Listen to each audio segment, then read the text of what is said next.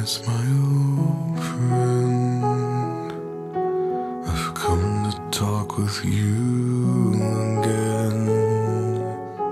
Because a vision softly creeping left its seeds while I was sleeping.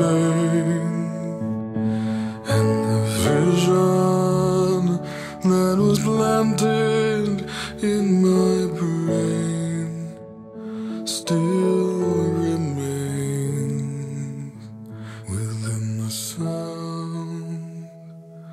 silence.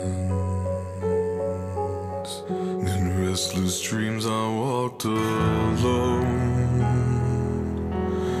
Narrow streets of cobblestone.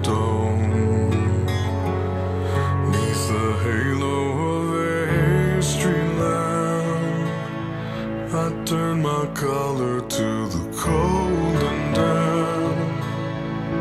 When my eyes were stabbed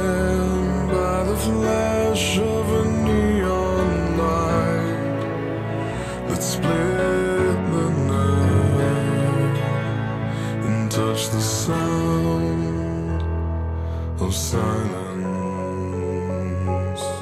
And in the naked light, I saw